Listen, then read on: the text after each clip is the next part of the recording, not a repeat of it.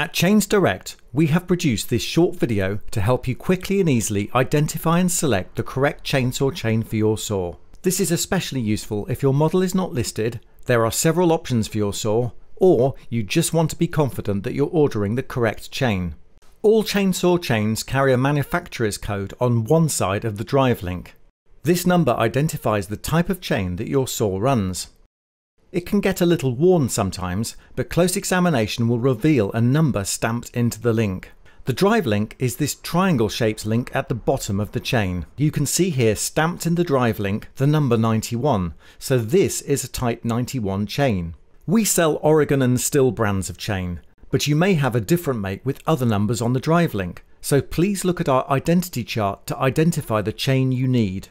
Once you know what type of chain your saw runs, you still need to know the length of the chain.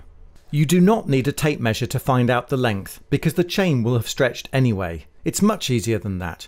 You just count the number of drive links. In this example, we have 56 drive links. Now you have all the information to enable you to correctly order a chain for your saw. This particular example is a Type 91 chain with 56 drive links.